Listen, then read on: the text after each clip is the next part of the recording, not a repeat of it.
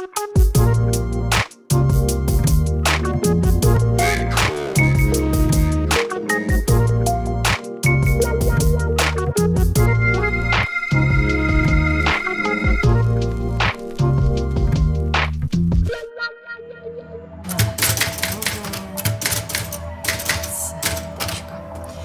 Pracovat za socialismu v Úboku, tedy v Ústavu oděvní a bytové kultury, znamenalo podílet se na vytváření reprezentativních kolekcí, jakýchsi výkladních skříní tehdejšího spotřebního průmyslu, ať už šlo o módu anebo o nábytek. Práce to tedy mohla být kreativní a smysluplná. Jak dalece taková opravdu byla, ukáže dnešní retro.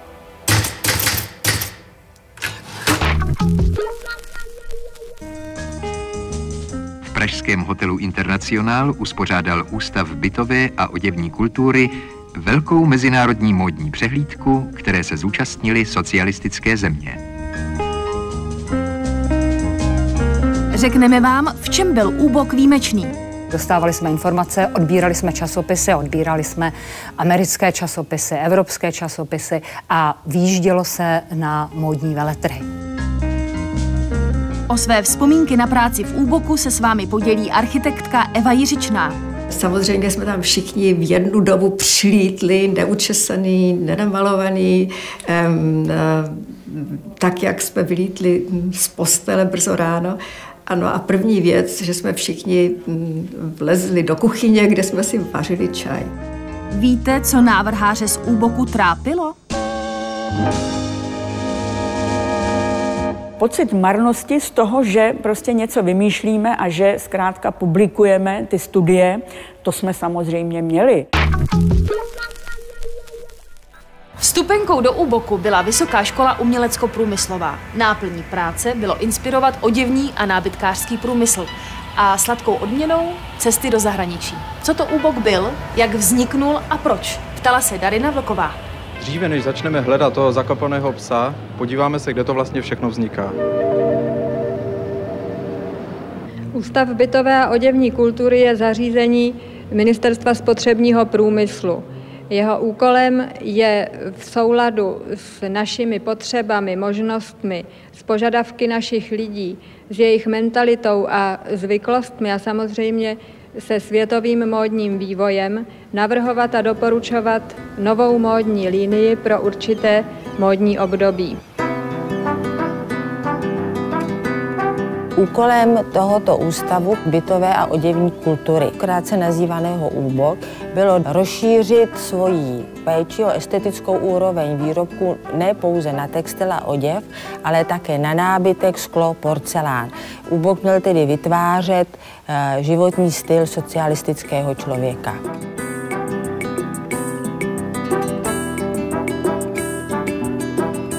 Úbok byl rozdělen do jednotlivých sekcí a oddělení. Byl to ateliér oděvu a ateliér eh, vývoje pletených výrobků. Tam se navrhovaly a připravovaly eh, modely pro muže, ženy, děti. Dále to byly, byl ateliér tisku, kde se navrhovaly dezény, ateliér bytového textilu, eh, dále pak vývoje vlnařských textilí, bavlnářských textilí, ateliér skla. Ústav bytové a oděvní kultury měl vlastně už jenom odpovědnost za estetickou stránku výroby. Ubek byl určitým způsobem jedinečný v tom, že měl možnost, eh, nebo že získával informace z zahraničí. Byla tam velice dobře vybavená knihovna s množstvím módních časopisů, eh, v té době značně nedostupných. Také pořádal cesty do zahraničí.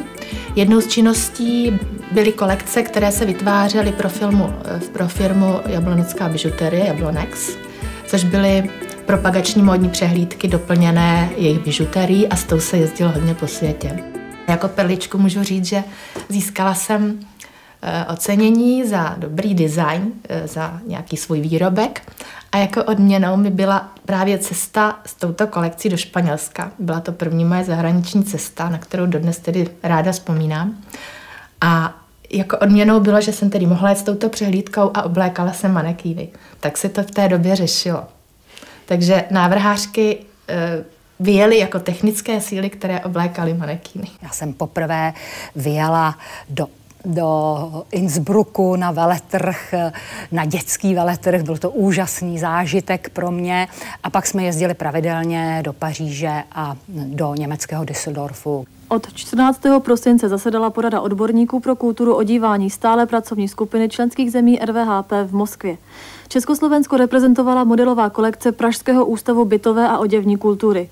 Porada odborníků, která shledla osm národních kolekcí, projednala společné módní směry členských zemí RVHP na rok 1989. Včera večer jste se vrátila z Moskvy. Jak uspěla naše kolekce? Tajným hlasováním eh, vedoucích eh, jednotlivých delegací členských zemí RVHP zvítězila sovětská delegace. Domnívám se však, že právě naše kolekce přispěla řadou módních směrů a módních stylů přispěla těm společným módním směrům, na kterých jsme se na této poradě dohodli. Když jsem třeba dělala si přehled o zahraničních cestách, o výjezdech, tak třeba nejvíc eh, dní na zahraničních cestách eh, byly technicko-hospodářské pracovnice v té době, což byly manekinky, že jo? Manekinky v Uboku, předvádějící, eh, to byly vlastně v té době jediné, nebyly agentury, nebylo nic a ty strávili, třeba některé strávili více jak půl roku venku. To je prosím kolekcia manikejniek, pardon, modelů pro světovou výstavu v Montreale. Modely zhotovil Ústav bytovej a oděvnej kultury v Prahe. Funkce modelka nebo zaměstnání modelka tenkrát v nomenklatuře zaměstnání neexistovalo, tak byly zaměstnané jako textil, technicky hospodářské pracovnice a e, dělali na, za poměrně malou mzdu, jenom tak asi za přehlídku, a to už bylo, když se někam vyjelo, dostali stovku. Tento model se nazývá Meky Messer. A jinak dostávali opravdu minimum a řada věcí se potom přece jenom, když vyjížděli do zahraničí, tak se to trošku vrátilo, že si přivezli některé dobré dojmy. V domě u boku na Příkopech byl předváděcí sál, kde probíhaly právě eh, módní přehlídky, které byly určeny pro zástupce z výroby. Eh, přehlídky, které byly určené pro veřejnost, se konaly například v Lucerně, eh, kde se udělalo velké molo napříč sálem a kde bylo možné si koupit lístky a vidět vlastně nové oděvní trendy na danou sezónu.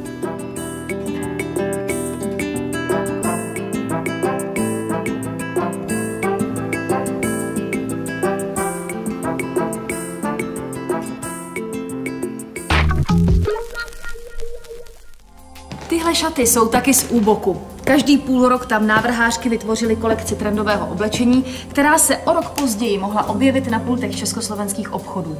Jak často se to ale opravdu stávalo? Tato značka znamená Úřad bytové a oděvní kultury. Ale ne, to neznamená úřad. Ústav bytové a oděvní kultury. Ach tak, ano, zajisté, ústav.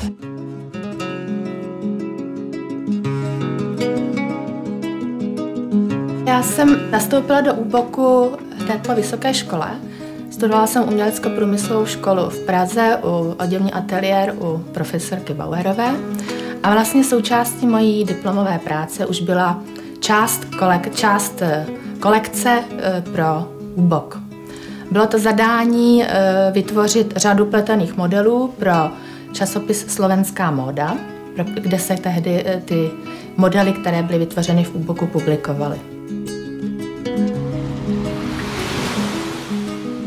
Návrhářů tam bylo hodně, myslím, že 12. Měli jsme takovou dlouhou úzkou místnost a seděli jsme za sebou a stoly byly odděleny takovým jakoby eh, botníkem, kde jsme měli tušky a papíry a samé ženy a jenom jeden návrhář Jiří Adámek, ten byl úplně vzadu a měl přes nás pře všechny přehled. A my jsme měli šéfy, to byli takzvané, takzvaní vývojáři. A tyto vývojáři pro nás připravovali práci. Měli jsme plán a museli jsme udělat 27 schválených návrhů za měsíc, takže to bylo opravdu hodně a pro mě to byla úžasná škola. Do oddělení potištěných textilí tam se dělo třeba v průměru 2600 návrhů kreslených ročně, protože tam byla plejáda velice, velice renomovaných výtvarníků, vysokoškolsky vzdělaných ale kromě toho se dělo 70-80 designů vlastních vzorků, kde to bylo pro jak tendence vzorování pro oděvní kolekce nebo pro kolekce pletených výrobků. Stejně tak se teda na oděvek se dělalo teda e, v průměru hm, asi 1100 modelů teda ročně.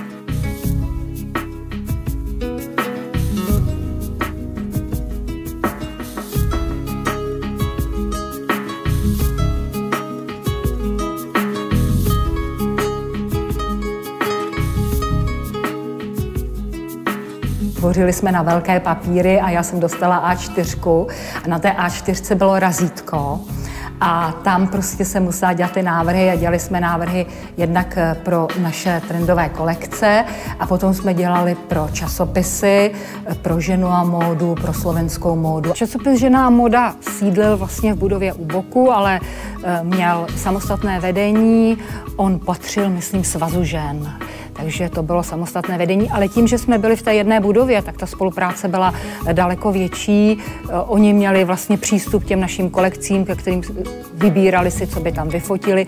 Extra jsme pro ně dělali tematické kolekce. My jsme samozřejmě byli eh, vázáni na situaci, jaká byla. Takže eh, ovlivňovala nás pouze určitá nepružnost nepružnost, nepružnost vlastně toho našeho uh, hospodářství a uh, textilního průmyslu, které samozřejmě byly spíše směrovány na obrovské zakázky. A takovou tu, uh, to obohacení, ty menší kolekce, to, to, tu pestrost, tak to bylo velice těžké prosadit. Prostě jsme byli na kontraktech a když jsem viděla, viděla jsem krásnou fazonu kabátu, ale když jsem těch kabátů viděla na tom štendru od velikosti 38 do velikosti 52, prostě třeba 1200, tak se mi ten kabát přestal líbit. Oni měli představu, že bude prostě úbok vytvářet modelové kolekce a že tedy teď budou přijíždět a bude vlastně vůbec zpracovávat trendy a tohle to všechno a budou přijíždět i nákupčí z těch jednotlivých eh, továren a budou si vybírat a inspirovat.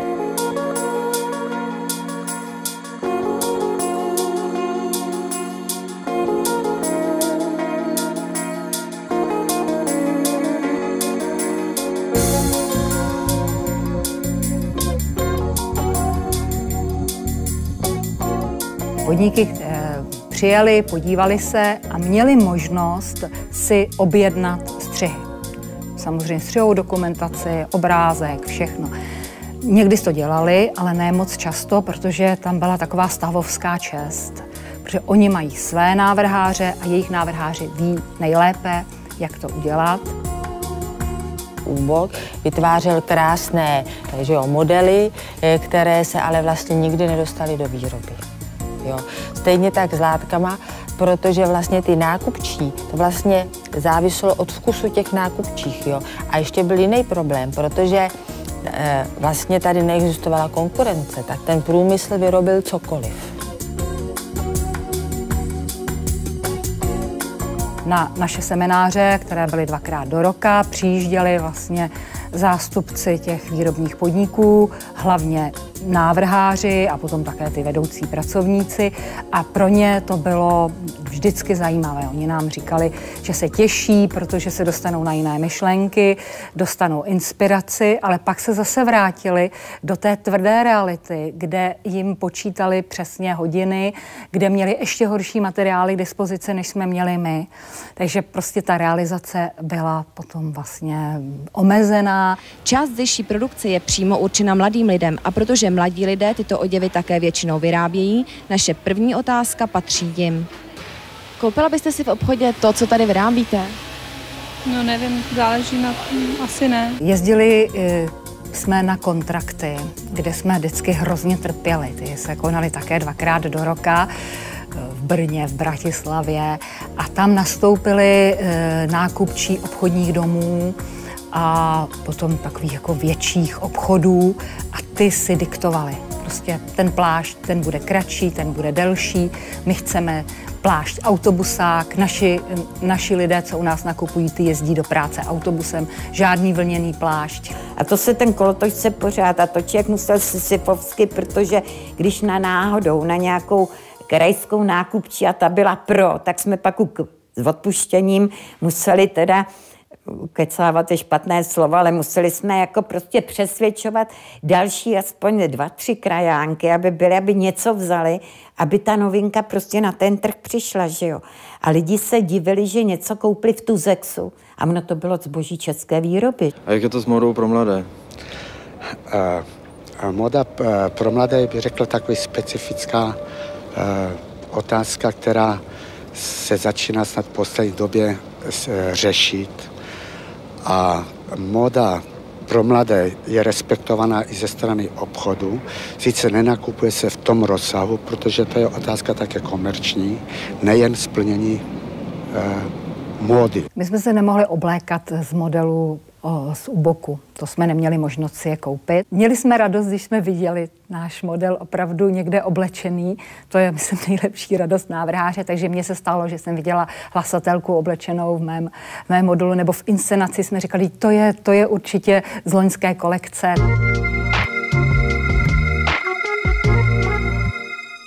Měli jste v Úboku nějaký rituál? No samozřejmě těch rituálů bylo několik. První věc, že se tam člověk musel dostat ráno před půl osmou a po půl osmé paní Vrátná, která seděla ve vrátnici s revolverem za pasem, každého napsala do černé knihy a jaký, jaký byly tresty, to si nepamatuju. Ale samozřejmě jsme tam všichni v jednu dobu přilítli, neučesaný, nenamalovaný, tak, jak jsme vylítli z postele brzo ráno. Ano a první věc, že jsme všichni mm, vlezli do kuchyně, kde jsme si vařili čaj.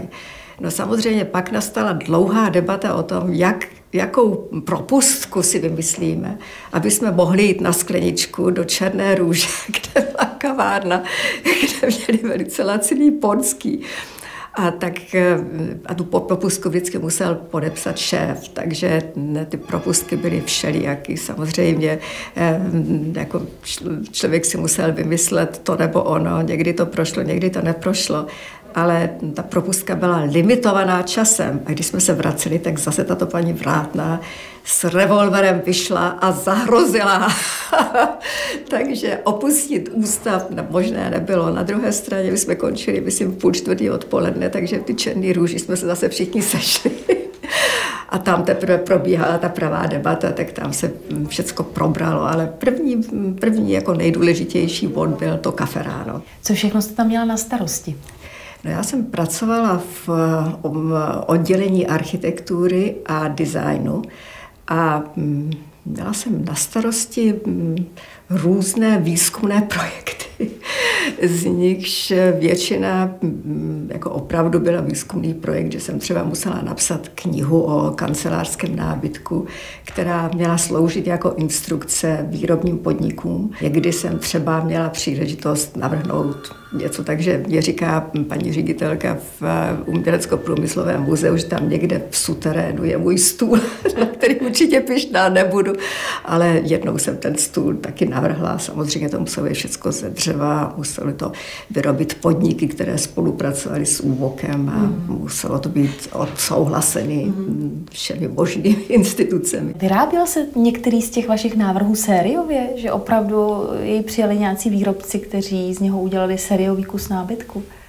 Myslím, že to se mi nestalo. Myslím, že ten stůl byl jenom prototyp a to byl snad jediný kus nábytku, eh, který se realizoval.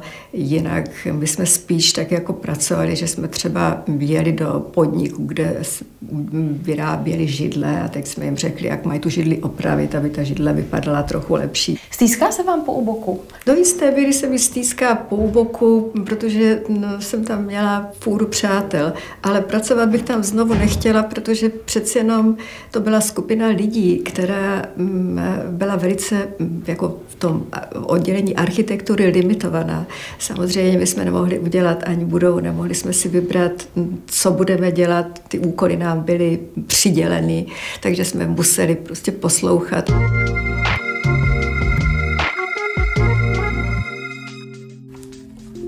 Během svého působení v Úboku navrhla architektka Eva Jiřičná i tenhle stůl s posuvnými šuplíky. A kdyby bylo československé hospodářství pružnější, mohli jste ho mít doma taky. Jestli vás zajímá, co ještě patřilo k bytové kultuře, kterou Úbok nabízel, dívejte se dál. V Budapeštské galerii umění byla uspořádána výstava československé bytové kultury. My jsme spolupracovali tedy s těmi státními podniky, což byly obrovský kolosy. Možnost nebo vůbec snaha nějak ho inovovat, měnit tedy to, co se tam vyrábělo, ta byla vlastně minimální. Tomu oni se zuby nechty bránili. Kusně řešené výrobky sklidili u maďarských návštěvníků zasloužený obdiv. Je to o důvod víc, aby tak pěkné bytové doplňky byly zlevněny sériovou výrobou. Jinak se jim budeme obdivovat, jako dosud, zase jen za výlohami a na výstavách. Oni na ten úbok se dívali ty generální ředitele, že jo, nebo prostě tyhle ty výrobně hospodářské jednotky, jak se tomu říkalo, no tak oni se tam prostě něco šmudlají, ale konec konců maximálně to třeba dostane nějakou tu cenu.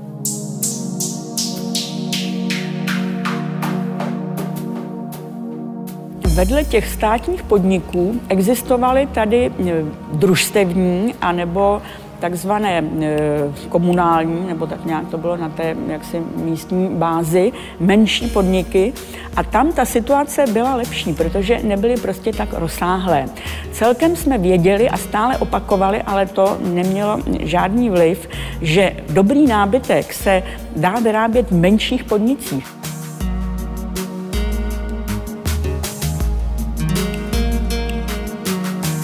Celkem snažší cesta k té výrobě nebo vůbec hromadné výrobě, protože pro tu vlastně ty výrobky určený byly všecky, byla v případě skla, v případě bytového skla. A sice byly to například lisované sklo.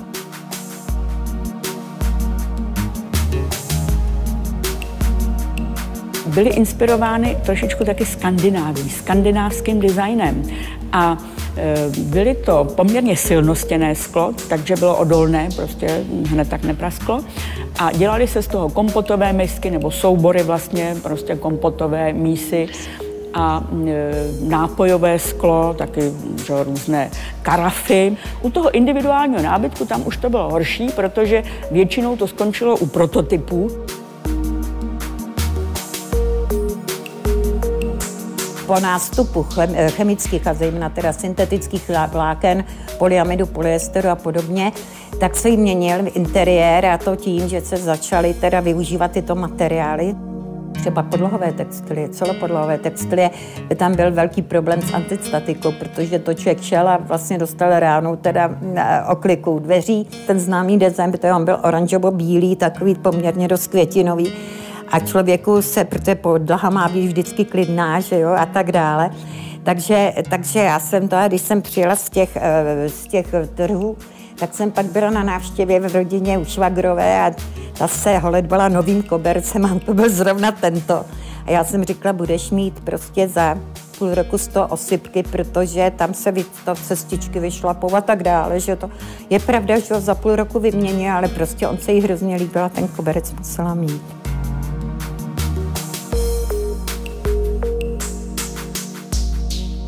My jsme se snažili, protože to nebyla jenom tato, že jsme zpracovali tendence, že jsme jednali s podniky, tak na výstavách a podobně prostě vzdělávat lidi, ale mnohdy se to nedařilo tak, jak by to bylo a je fakt, že pak člověk přišel do obchodu, nebo jsem přijela na liberecké výstavní, tedy pamatuju si to jak dneska, kdy mě tehdejší obchodní náměstek mi říká, no vy jste nám tento design vyřadili a on byl první prodaný.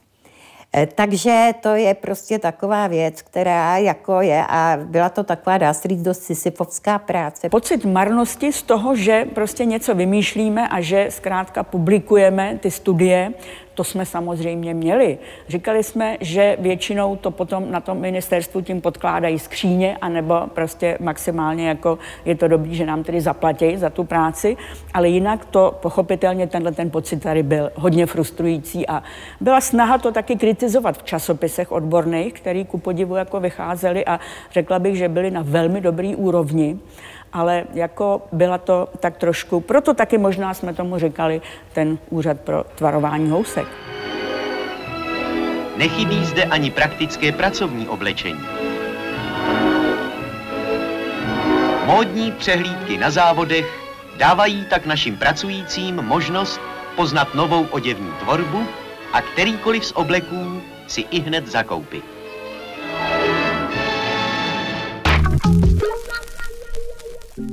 Dalo se u nás za socialismu sehnat pěkné oblečení a pěkný nábytek? Jaká je vaše zkušenost? Napište nám na www.retromanie.cz. Mějte se hezky, krásný týden a na viděnou.